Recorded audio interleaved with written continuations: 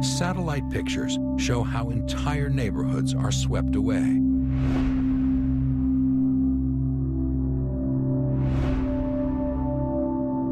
Banda Aceh's busy port area is demolished.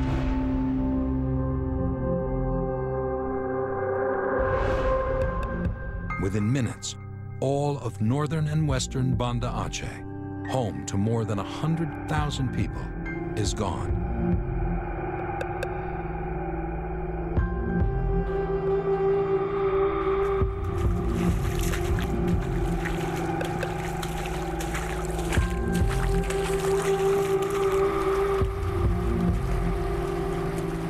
Finally, after the waves subside, stunned and silent, Putri walks with her family to safety.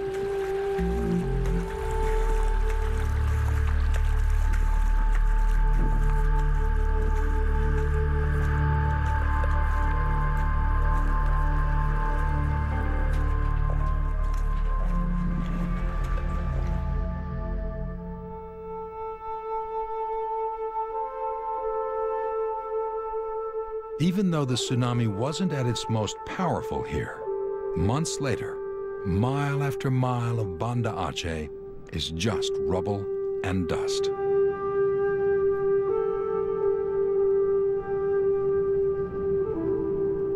Further along the coast, the intensity of the wave's destructive power is shockingly evident.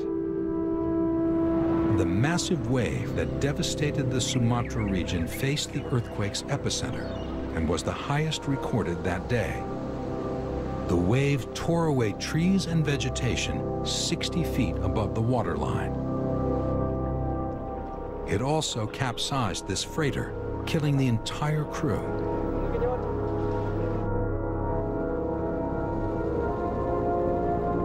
It tossed this massive barge filled with tons of iron ore high onto the beach.